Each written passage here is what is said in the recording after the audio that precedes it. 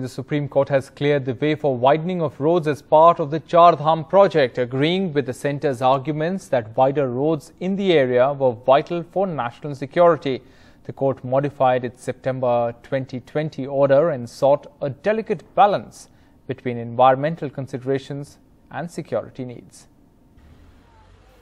The Supreme Court has approved road widening for double-lane highways on three routes of the ambitious Char Dham project that connects the four shrines of Gangotri, Yamunotri, Kedarnath and Badrinath in the Garhwal Himalayas. These include the sections from Rishikesh to Gangotri, Rishikesh to Mana village and Tanakpur to Pithoragarh, which environmental groups had petitioned against. Today, a three-judge bench of the Supreme Court said, national security and border security concerns need to be met. We can't second guess infrastructural needs of the armed forces. Defense Ministry, a specialized body, can decide its operational requirements.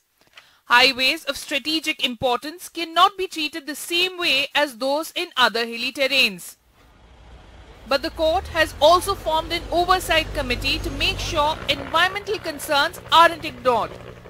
The court said constant monitoring also needed for maintenance of environmental issues. Oversight Committee to be headed by former Judge of Supreme Court Justice A.K. Sikri.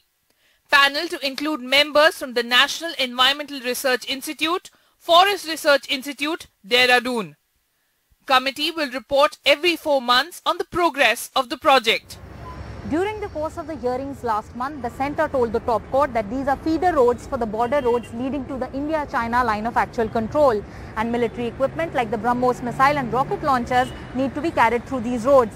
The centre said that it does not want the troops to be caught in a 1962 kind of situation again and the court appears to have accepted that argument.